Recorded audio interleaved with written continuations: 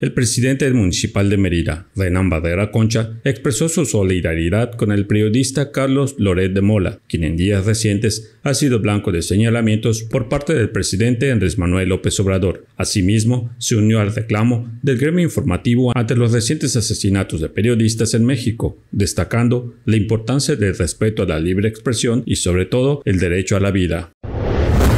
Autoridades reportaron la detención de dos personas presuntamente involucradas con el fallecimiento de un joven identificado como Jennifer de Jesús, alias El Niga. El operativo se desarrolló en un predio ubicado al poniente de Progreso. La Secretaría de Salud de Yucatán reportó 353 nuevos casos de COVID-19 en la entidad. Desde el inicio de la contingencia sanitaria, 106.634 personas han dado positivo a la enfermedad. Asimismo, se informó de 10 fallecimientos, sumando 6.798 muertes a causa del coronavirus.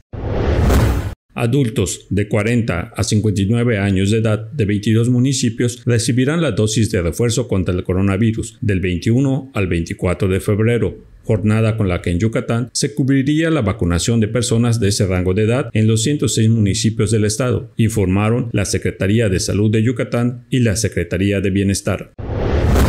El fin de semana del 25 al 27 de febrero se vivirá un agasajo de sabor en el Parque del Barrio de Santa Ana del centro de Mérida con la tercera edición de la Feria Nacional de Queso de Bola. En esta ocasión se contará con la participación de 40 expositores que ofertarán sus mejores platillos y postres elaborados con este amado queso. La posible escasez del queso de bola en las próximas semanas impactaría en el costo de las marquesitas y a su vez en los diferentes postres y productos que son fabricados con él. Lo anterior fue anticipado por el chef yucateco Alberto Lavalle previo a la presentación de la tercera edición de la Feria Nacional del Queso de Bola.